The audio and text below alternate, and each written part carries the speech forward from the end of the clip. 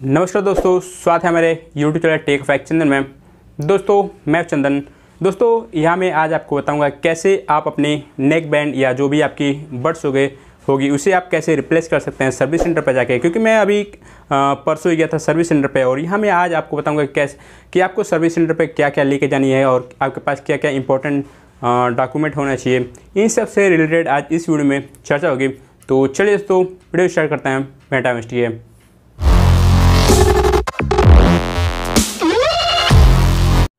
तो चलिए दोस्तों वीडियो स्टार्ट करते हैं। तो दोस्तों यहाँ मैं आपको सबसे पहले बता दूँ तो यहाँ मैं किसी एक सेपरेट कंपनी के बारे में बात नहीं करने वाला हूँ क्योंकि मैं जिस भी कंपनी मैं जिस सर्विस सेंटर पर गया था वो लग, वहाँ लगभग हर एक कंपनी का प्रोडक्ट रिप्लेस हो रहा था तो इसलिए मैं यहाँ सेपरेट किसी भी कंपनी के बारे में नहीं बात करने वाला हूँ। तो यहाँ मैं आपको बता दूँ मेरे पास था फ़िलहाल एक बोट का बर्ड्स था उसमें चार्जिंग प्रॉब्लम आ रहे थे वो जल्दी चार्जिंग नहीं हो रहा था और एक बर्ड्स में आवाज़ भी नहीं आ रही थी तो उसे मैं गया था रिप्लेस कराने के लिए और यहाँ मैं आपको बता दूँ तो एक सबसे इंपॉर्टेंट बता दूँ तो आपकी जो भी प्रोडक्ट होगा, चाहे वो नेकबैंड होगा या चाहे बर्ड्स होगा, वो आपका सर्विस सेंटर पे रिपेयर नहीं होता है, बल्कि आपको नया देते हैं वहाँ, जिस भी आप सर्विस सेंटर पर जाएँगे। यहाँ मैं आपको एक एग्जांपल देता हूँ। तो जैसे कि यहाँ देख सकते हैं, देख सकते हैं, मेरी है ये रियल मी की नेकबैंड और अभी ये फ़िलहाल दो महीने पहले ख़राब हो गया था, और मैं इसे घर बैठे ही रिप्लेस करा था। लेकिन अब फ़िलहाल इसे रिप्लेस कराने के लिए आपको जाना पड़ेगा सर्विस सेंटर लेकिन मैं घर बैठे रिप्लेस करा था। और यहाँ में आपको बता दूँ तो मैं इसे छः महीने यूज़ कर लेता और ये बिल्कुल अब नया का नया मिला है। और यहाँ मैं आपको आगे बता दूँ तो मैं फ़िलहाल इससे तो रिप्लेस करा ही दिया हूँ। इसमें प्रॉब्लम क्या रही थी कि इसकी जो एक बर्ड्स है इसमें आवाज़ नहीं आ रही थी और इसे मैं डायरेक्ट रिप्लेस कर दिया था, घर ही बैठे। तो चलिए मैं आगे आपको बताता हूँ कि आगे सर्विस सेंटर पर मैं कौन सी कंपनी के ले गया था। तो मैं यहाँ मैं आपको बता दूँ तो मैं लेके गया था बोट्स का और उसमें चार्जिंग वाली प्रॉब्लम आ रही थी। मैं आपको पहले ही बता दूँ बता दिया हूँ। तो चलिए दोस्तों, यहाँ मैं आपको सबसे बता देता हूँ कि आपको सर्विस सेंटर पर ले जाने के लिए आपके पास क्या क्या होना चाहिए और क्या आपके पास ना भी हो, तब भी काम चल जाएगा। तो यहाँ सबसे पहले जो ज़रूरी है तो वो है आपके पास जो इन्वाइस होती है, वो आपके पास बिल्कुल रहनी ज़रूरी होती है। यदि आपने अमेजन से खरीदा होगा या फ्लिपकार्ट से खरीदा होगा तो वहाँ आपको ऑप्शन मिलती है डाउनलोड इन्वाइस करके। वो आप डाउनलोड कर सकते हैं। और यहाँ मैं आपको बता दूँ तो इसकी फ़िज़िकल कॉपी ले जाने की कोई ज़रूरत नहीं है, क्योंकि वहाँ आपको अपना वो जो सर्विस सेंटर पर रहते हैं उन लोग वो आपको एक नंबर देंगे और उस नंबर पर आपको इन्वाइस को डाउनलोड करके सेंड करना पड़ता है। तो यहाँ आपको कोई भी उसकी फ़िज़िकल कॉपी ले जाने की ज़रूरत नहीं है। तो आपके पास सबसे पहले जो ज़रूर कहें वो है इन्वाइस और यहाँ काफ़ी लोगों के मन में डाउट ये भी रहता है कि क्या बॉक्स का रहना ज़रूरी होता है। तो यहाँ मैं आपको बता दूँ बता दूँ तो बॉक्स का रहना बिल्कुल ज़रूरी नहीं होता है, क्योंकि मैंने वहाँ सर्विस सेंटर पे पूछा भी था कि क्या बॉक्स को ले आना ज़रूरी है। लेकिन मेरे पास फ़िलहाल उस टाइम बॉक्स अवेलेबल थी और उन लोगों ने, और उन लोगों ने बॉक्स का डिमांड भी नहीं किया था। सिर्फ़ मैंने, सिर्फ़ उसमें से उन लोग ने बर्ड्स लिया था और बर्ड्स लेकर एक्सचेंज करके सिर्फ़ पाँच मिनट के अंदर दे दिए थे।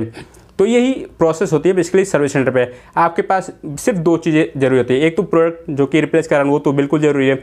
और साथ ही साथ आपके पास इन्वाइस होना चाहिए, जो कि वो काफ़ी ज़्यादा ज़रूरी होता है, क्योंकि वो एक वही उसी के ज़रिए मालूम चलता है कि आपने कब प्रोडक्ट कर दिया था और उसकी क्या सीरियल नंबर ये सब मालूम होता है इन्वाइस के दौरान। तो ये दोनों चीज़ें रहनी बिल्कुल ज़रूरी है, ज़रूरी है। और यदि आपके पास बॉक्स नहीं है, तब भी ये काम चल जाएगा। आप ऐसे ही अपने प्रोडक्ट को ले जाकर सर्विस सर्विस सेंटर पर दे सकते हैं। और यहाँ मैं आपको आगे बता दूँ तो आगे क्या प्रोसेस होता है? तो यदि आप सर्विस सेंटर पर जाते हैं तो सर्विस सेंटर पर सबसे पहले आपको यदि वहाँ विज़िट करते हैं तो आपको एक टोकन नंबर दिया जाता है। यहाँ इमेज में, यहाँ वीडियो में दिख ही रहा होगा, यहाँ मैं आपको दिखा दूँगा कि कैसे टोकन नंबर मिलता है। बेसिकली टोकन नंबर ये होता है कि वहाँ काफ़ी लोग विज़िट करते हैं, और टोकन नंबर इसलिए देते हैं कि ताकि वहाँ आपकी बारी आएगी। यदि आपकी बीसवें नंबर पर होगा तो आपको वेट करना पड़ेगा। आप बीस नंबर खत्म मतलब बीस उन्नीस नंबर तक हो जाने के बाद तब आपका बीसवें नंबर आएगा। और ये प्रोसेस करने में लगभग आधे घंटे, एक घंटे लग जाते हैं। लेकिन मैं गया था तो वहाँ किसी दूसरे की जगह पे मैं चला गया था तो इसलिए मेरा सिर्फ़ पाँच मिनट के अंदर हो गया था काम।